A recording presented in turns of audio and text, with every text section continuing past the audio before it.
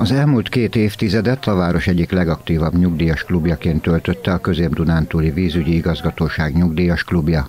A tagok 2002-es megalakulásukról és az azóta eltelt időszakról hétfőn délután ünnepélyes keretek között emlékeztek meg.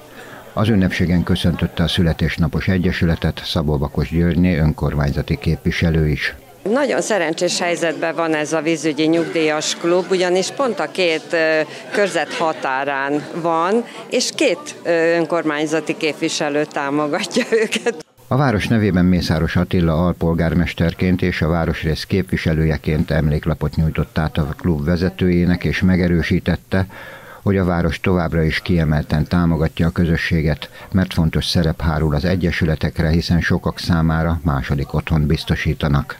Szívből gratulálok a e, klubnak, annak mindenkori e, vezetőinek, tagjainak, e, hogy itt vannak, együtt vannak. Azt gondolom, hogy ma ez a legfontosabb. Bízunk benne, hogy még nagyon sokáig együtt lesznek önök is a kis közösségben, és mi pedig a városban is közösen tudunk majd fejlődni és, és gyarapodni.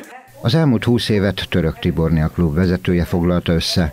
Beszámolójában megköszönte a közösség aktív részvételét a programokon, felidézte a legszebb, legemlékezetesebb pillanatokat, és megemlékezett mindazokról, akik sajnos már nem vehetnek részt a klub életében. A találkozó rendszeres, két hetente találkozunk, ugyanis az igazgatóság mindenkor, tehát a megalakulástól kezdve biztosítja a klub helyiséget, és ott mi két természetesen ingyenesen, és mi ott két hetente rendszeresen találkozunk.